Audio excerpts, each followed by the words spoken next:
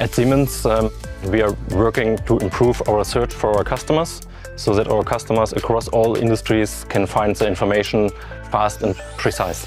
With our new search capabilities, um, we made it uh, possible to uh, combine more than 20 different data sources uh, across our websites. That's where AWS comes in place um, because together we have created a solution, uh, AI-powered search, uh, which brings the information directly to the customer.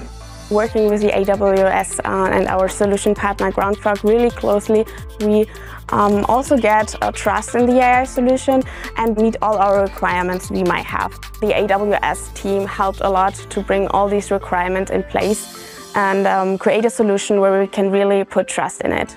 We were three times faster than before and we also could reduce the costs by 70%.